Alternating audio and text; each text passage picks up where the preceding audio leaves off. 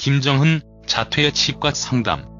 서울대를 자퇴한 이유를 밝혔다? 김정은 자퇴 치과 상담.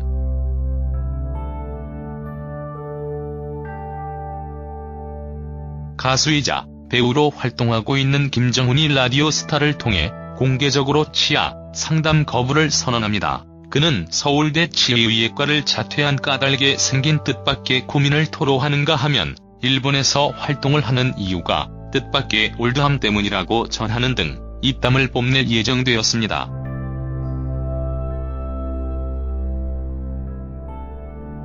고품격 토크쇼 MBC 라디오 스타는 얼굴 뜯어먹는 소리 안에 특집으로 각 그룹의 비주얼 센터 4명 김종민, 구준엽, 손나은, 김정훈이 출연해 비주얼만큼이나 뛰어난 특급 입담을 뽐냈는데요.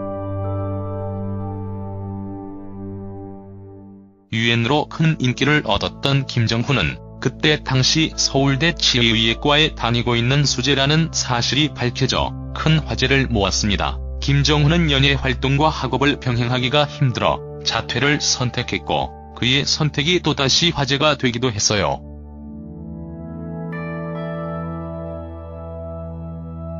김정은은 녹화 그때 당시 치아 관리는 어떻게 하냐는 질문이 나오자 작정한 듯 이야기를 풀어내기 시작했어요. 그는 계속 물어봐요 라면서 치아와 관련 있는 얘기에 대하여 더 이상 물어보지 않았으면 좋겠다는 의사를 나타냈습니다. 그는 의사 친구가 많은 거지 저는 하나도 몰라요라고 너스레를 떨기까지 해 모두를 웃게 했다고.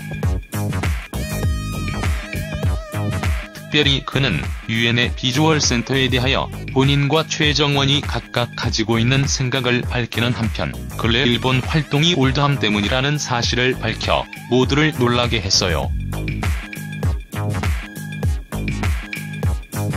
또한 김정훈은 차태현 앞에서 차태현이 롤 모델이라고 고백해 차태현을 흐뭇하게 했는데 우울증 극복도 수학으로 하는 그의 특별한 시기가 공개돼 모두가 깜짝 놀랄 수밖에 없었습니다. 마치 암호 같은 시기에 구준엽은 난 저런 부호들 50년 만에 처음 봐라고 말해 출연자들과 MC들이 공감 속에서 많이 한바탕 웃었다는 후문인데요.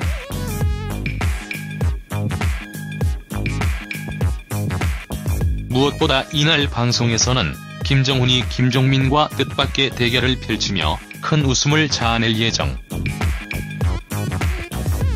김정훈과 김종민, 상반된 이미지의 두 사람은 한바탕 토론을 벌이는가 하면 단어 대결까지 펼쳤습니다고 전달해져 결과가 어땠을지 궁금증을 자아내고 있습니다.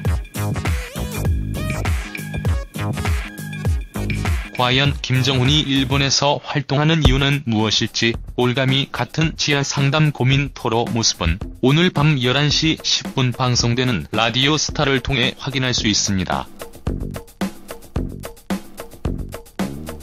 한편 라디오 스타는 김국진, 윤종신, 김구라, 차태현 4MC들이 어디로 튈지 모르는 촌철살인의 입담으로 게스트들을 무장해제시켜 정말 이야기를 끄집어내는 독보적 토크쇼로 많은 사랑을 받고 있습니다.